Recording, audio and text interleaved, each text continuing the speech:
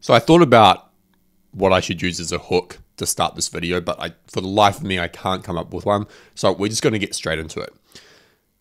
I've spent half of my life, 14 years, trying to build businesses. Out of the many I started, most of them failed. Only two have succeeded. And while I'm not an expert, while I'm not the best solopreneur entrepreneur in the world, obviously, I have made a lot of mistakes and I have learned a few things along the way that I'm going to share with you.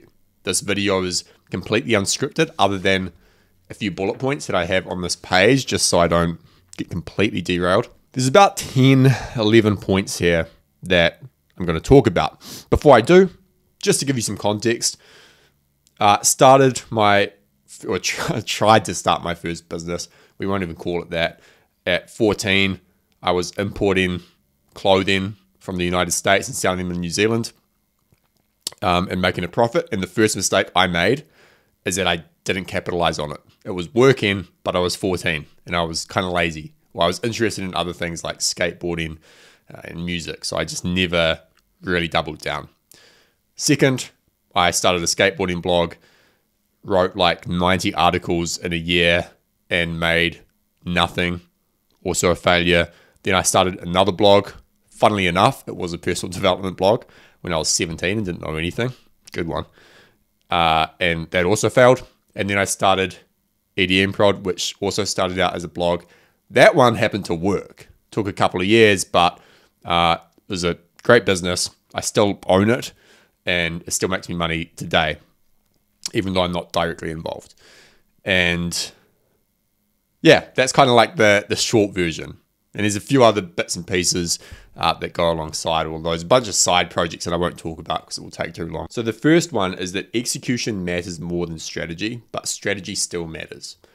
People tend to make one of two mistakes. I've made both. They are either overly strategic in that they think and they plan and they strategize far too much without doing enough execution, without doing enough work, taking enough action on things to validate things and get data. And on the other end of the spectrum, you have people who just blindly execute. High energy people, type A people who push, push, push. They work really hard, uh, but a lot of that work is, is wasted because they're doing it ineffectively or they're doing it in a direction that just isn't that leveraged. Like maybe they're getting a 1x return on their time. Whereas if they had if they were able to step back and be a little bit more strategic, they could be getting far more return on their time investment. So you need execution. That's like table stakes. If you're not executing at a reasonable level, if you're not putting in the deep work, if you're not sitting down, showing up every day, being consistent, then any strategy that you come up with is useless because it has zero power by itself. That's table stakes. But you cannot ignore the strategy piece, like I just talked about. The ability to step back, to look at your business from like a bird's eye perspective, to look at where the bottlenecks are, to look at where the opportunities are, to look at what the 20% of what you're doing that's producing 80% of the results is. That's high leverage work. Might not feel like it when you're under pressure and things are fires that you need to put fires out and all that kind of stuff. But it's super useful work. And to give you an anecdote, with EDM Prod, the music production course business I built, there were so many times where I was just blindly executing. Like we were just pushing in a, a direction, and it wasn't until we looked back we were like, huh, that was a mistake. We shouldn't have done it that way. If we had just stopped, slowed down, looked at what was actually working, uh, we could have sped things up, grown the business much faster. Uh, and it was my fault, obviously. You need to be executing 100%. You need to be good at executing. Most people are not. Most people are, like tend towards strategy too much, but you cannot ignore the strategy piece. One thing that's helped me a lot, and I only picked this up in recent years, is sitting down once a week with pen and paper. setting aside like 30 minutes, doesn't have to be much more, and just thinking through a, a problem that I'm dealing with in the business or in life. Just pen and paper, like literally just a notebook like this. I'll sit outside, uh, I'll go to a cafe, and I'll just get a pen and I'll just write stuff out. I'll diagram, I'll do what I need to do. Being away from the computer, being away from the temptation and the distractions uh, to work is very useful. And it might seem to you like, oh, of course, is, I do this anyway all the time. But it's a good way to to be a bit more strategic, to slow down, to look at your business. So if you if you're the person who tends to just blindly execute and move in a direction, consider doing that. Start once a week, maybe on a Monday morning or Friday morning or something like that. Get away, get a notebook, and just think. Think through your business. Think through the major problems you're dealing with. Think through the opportunities. Think through the bottlenecks. There's a great book called The Road Less Stupid, which I highly suggest that you read because uh, that'll give you some questions to ponder while you think about your business. So that's point one. Execution matters more than strategy, but strategy still matters. The second one is to sell before you build.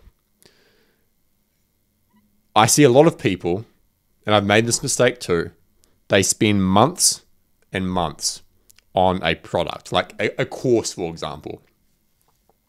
They spend months building an online course or digital product, and then they promote it to the audience, they launch it, and nothing. I remember auditing someone's business uh, for them to come on as a client, and they told me that they they, they had a coaching business, they launched a course, and I think the email list was 5,000 people, so not small. They launched their course and got two sales. And I asked how long this person spent on the course, and she said six months. She had spent six months on a product that she hadn't validated. Can you imagine? Hopefully, you, you have to imagine you haven't experienced it. If you have, um, I'm sorry, that's, uh, that's a lot of work. So, sell before you build. I learned this lesson in a very powerful way from a coach that was working with me at the time many years ago. We looked at our bus- at the business and we knew that we needed to make a, a course for beginner music producers. All this traffic was coming to the site. We didn't have anything to offer them. Uh, and so we needed to build that. And I had gone away and I started mapping out this comprehensive course. You know, I'd spent weeks on it. I was starting to build it. And he just said to me, no, no, no, no, don't do that. Make it simple. Make it like four songs in four weeks or something like that. Get a sales page up and do pre orders. And if you don't get 50 sales, refund everyone and don't make the course. It's not the right offer. And initially, when he said that, I was I was thinking, nah, that's you know, no way. Like I'm not going to ask people for money before I even built something. There's just like a weird mental thing around that. But he insisted, and I thought, you know what? If if I I can refund them if it doesn't work out, that's fine. So I got the sales page up. I came up with the idea, I mapped it all out, wrote some sales copy, launched it to the list, and we made 100 sales. And that was the most amount of money that the business had made in like a week in its history. Well, up until that point. And that just changed, that changed everything. It was like, oh, you can validate something and then build it. Yes, you have to rush to build it. Like I was, I was working hard after that to fulfill and to develop the course week by week. But it's much better than spending six months on something only for it not to sell. So sell before you build. There's so many ways to do this. Uh, by the way, you need people to give you money. You can't just put up a waiting list and say that that's validation anyone anyone will sign up for a waiting list. It doesn't cost them anything other than their email. But to get them to pay you money is a different story.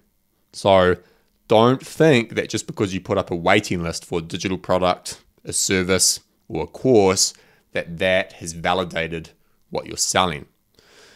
all it shows is that people are maybe interested, right? What you really want is to ask people, hey, give me this money now. It's going to be ready in couple of weeks or a couple of months. Uh, you'll have early access. It's going to be discounted. And if none of it works out, I'll give you your money back. Now, I wish I'd stuck with that way of doing things, of selling before I built. But unfortunately, I didn't. I made another mistake after that, which leads me to my next point. After the success of the beginner's course that I had sold before I built, and then launched and relaunched and so on and so on, I'll be honest, I've got a bit of an ego. I thought that maybe I had the golden touch and that I could just make courses. And a big mistake I made was thinking I don't have to do the whole validation thing. I know my customers so well. Look at look at how this launch went. I can do this again and again with different courses and different products. And so that's what I tried for an entire year. I think we launched four different products in that year. None of them did that well. Sure, they'd make a little bit of money during launch, but they didn't sell much after that. And it wasn't until 12 months later that we realized damn it, we should have doubled down on the beginner's course we'd built that works, that sells consistently. What are we doing focused on all this other stuff? And so that's the next piece of advice. If something's working in your business, don't just leave it. Don't just go, cool, that's working. Let me go work on this. Let me go try this. It's like, no, no, no. If that's working, double down on it. Because it's hard to make a product or a service that sells well. And when you do, when you get it to a point where it's doing pretty well, usually you can just fan those flames. You can make it sell even more. And we didn't realize that at the time. We wasted like an entire year and then got to the point where it's like, oh, we should have been doing this. Let's do that now. And once we doubled down on that product, then the business really changed. The next piece of advice is to learn in order to solve problems that exist right now, not problems that might exist in the future. A big mistake I made and actually continue to make, it's a tendency of mine, is to spend a lot of time researching, reading books, watching podcasts, YouTube videos on certain things. I remember, I think it was the early days of business. Uh, I had maybe, I think I had an intern or like part time employee, and I was reading books on like management, um, like big team management, things like that. And it was really just a form of mental masturbation. It was like half sort of dreaming, like me imagining what it would be like to have 50 people. And it made me feel good. And I convinced myself that I was learning things, but it's it's like what I should have done was just execute or like learn how to manage one person or something like that. A lot of people get into this trap where it's like you're learning it's like the levels in the video game. It's like you're at level 1, you're learning these skills for like level 20, but you actually need these other skills right now to get to level 2. That's what you should be focusing on. That's what you should be learning. Otherwise, you're really just procrastinating. And it's like, sure, if in your free time, if you want to read a book about business that's like levels ahead, do it. It can't harm you necessarily, but but don't tell yourself that it's useful for you right now. It's the most useful thing you can do because usually it's not. The next thing that took me far too long to truly internalize, and I don't think I've fully internalized it yet, is that you, as the founder, whether you've got a team whether you're a solopreneur or not, you are the bottleneck. What that means is that if you are constantly tired, if you struggle to make decisions, if you lack confidence, if you get complacent and lazy, all those things affect things downstream in your business. You are the bottleneck, and your company, the thing you're building or the thing you've built, is going to be affected by how you are affected by other things. When I got complacent in business, my business started to decline. It started to stagnate. Why? because I was. I wasn't doing certain things. I wasn't pushing things forward. Right? Even when you have a team, there's still this is still a risk. A team doesn't mean that you can just slack off all the time. It mitigates it compared to when you're just a solo founder or solopreneur where like everything depends on you. But it's still downstream even when you have a team. That's why you see these big companies that get complacent and they get disrupted. They get too comfortable. The CEO gets too comfortable. The founder gets too comfortable. The leadership team gets too comfortable. And everything starts to stagnate and decline. So you are the bottleneck. What that means is that you should be investing in yourself, your personal development, getting coaches, investing in your education, and taking care of yourself and your health. Because at the end of the day, state matters. I've talked about this before on the channel. If your state is bad, it's going to affect everything. Next, it's not about growing fast, though there's nothing wrong with growing fast. It's about growing and staying in the game longer than everybody else there's people who've done who've done this longer than me, who've been in the business world for many decades. Um, like I said, it's been 14 years for me, but in that time, I've seen a lot of friends, I've seen a lot of peers build things really fast, reach success pretty quickly, and then completely burn out, or their business fails, or things change, and they're gone. There's something about persistence and about staying in the game and looking at it with a long term strategy. The person who can outlast the other, or the business who can outlast the other business, usually wins. So when you see people around you who are growing really quickly, you can learn from that. But as long as you're still playing the game, and as long as you're still growing at some rate, it's good. Keep doing it. One specific thing about solopreneurship that I want to mention. And I've been both. I've had I've had a business where it's just me.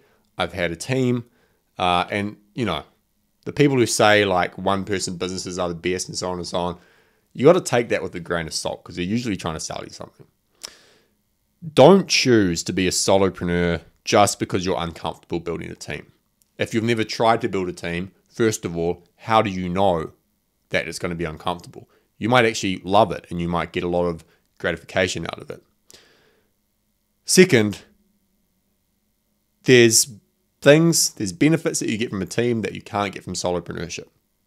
Namely, usually when you're a solopreneur, everything's dependent on you. And a lot of these solopreneurs, these one person businesses, it's not a business. They can't take two weeks off, especially if it's a service business. They can't take two weeks off and not have their revenue go down. I heard a great thing on the podcast the other day. It was Nathan Barry's podcast, Billion Dollar Creator, and he interviewed, uh, I think it was a guy called Grant Baldwin and Brian Harris. And Brian Harris said this thing of like, you, you know, you see a lot of these solopreneurs, these creators who have gone and they've tried building a team and then they, they come back and they, they go, oh, no, no, no, that was, that was too stressful. You know, I'm just going to do the solo thing. And what he said was like, he's not actually that convinced that that was the right move for them. A lot of people do it not out of a place of identity and strength, but rather fear and weakness. I'm paraphrasing, but those, those that was rough saying. And it's like, yes, building a team is hard. So is doing it solo. It's like pick your heart. And he kind of said at some point when you're building a team, you you build these skills, you learn how to lead, you learn how to manage, um, you move through that kind of valley of despair, you come out the other side, and things are a lot better.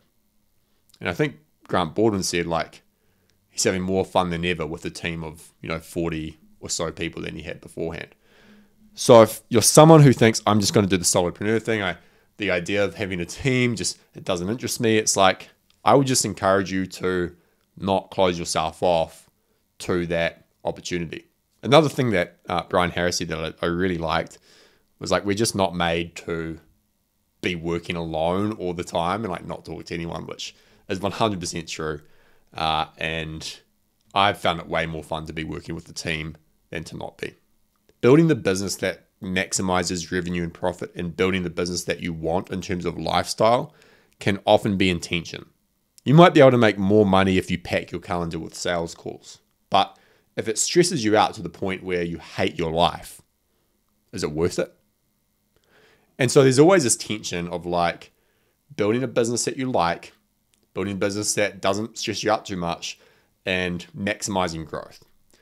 And it's easy to say, well, I'll just do this. Why would I, you know, why would I try and maximize growth if it's going to cause stress? And it's like, it's not that simple because if you just spend all your time here, uh, you can end up in stasis and you can end up too comfortable. And you've got this little lifestyle business that like makes you some money, but you get a few years in and uh, you're not happy at all because you're not growing and you're not being challenged and you're not learning new skills. And ask me how I know that because I've been there. And the four hour work week dream is not as cool as you think it is.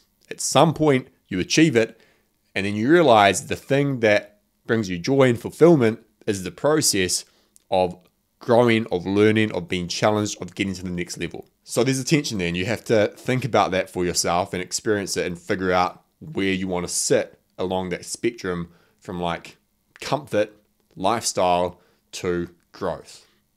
For me, at the moment, I'm like in the middle, but more towards this side because I've missed the process of uh, being really busy and being really challenged, and I, I kind of crave that at the moment. But I'm sure I'll tip over too far, and maybe in like 12 to 24 months, I'll, I'll be looking at the other end of the spectrum and wanting to head back a little bit. That's just how it works. A good question to ask yourself is like, what will I not tolerate, and what are my sort of hard lines? So it might be that if this starts to clearly and obviously affect my relationship with my family, like with my wife and kids, over sustained, uh, sustained, sustained, extended time frame, then I've, I've gone too far and I need to scale the business back because nothing is worth nothing is worth uh, relationship breakdown. So figure out what that is. Like, what will you tolerate? What will you not tolerate? And what type of business do you not want to build? If you want to be a solopreneur, stay a solopreneur. You don't need to build a business in a certain way. Plenty of people out there who make good money with a business they really like. Plenty of people out there who hate their business and make great money, but they're unhappy because they show up at work every day and they just hate it. What's the point? Okay, I have three more points that I'm going to make and then we'll wrap this up. Pay people for their time to solve specific issues. I wish I'd learned this earlier. I spent so much money on like courses and, and stuff like that. And after a while, I realized I can just email someone or message them, uh, an expert in a certain area or field, pay them for an hour of their time, usually, ask specific questions, and get a ton of value out of that hour. I've done this time and time again. It's something I still do to this day. If I've got specific questions, I'll email someone and just say, hey, can I pay you for an hour? And it's usually a lot higher value than like a marketing course or something like that um, because you can ask specific questions about your business and get specific feedback. Coaches are a great example of this. Look, in the coaching world, there's a, just a lot of noise and there's a lot of bad coaches out there. But the guy who told me to sell before I built, he was coaching me at the time. I mean, he he radically changed the direction I was taking with with business, whether he knows it or not. Uh, sure, he might say, "Well, you took the action and you took the responsibility and so on and so forth." But if it weren't for him, it might have taken me a lot longer to kind of get that unlock and find that you know point of clarity this is what I'm going to do and this is how I should do it. Probably one of the biggest benefits to paying people for their time or paying for a coach or someone is that it gives you an outside third party objective observer, someone who's not necessarily invested in your business, someone who's not seen it day to day, but can look at it and perhaps see things in that business that you are blind to because you're just in it every day. All right, last piece of advice is that the biggest productivity killer in business, besides just pure procrastination, watching Netflix, going on your phone, whatever, is doing work that is fun to you but doesn't move the needle. But you kind of convince yourself that you need to do it.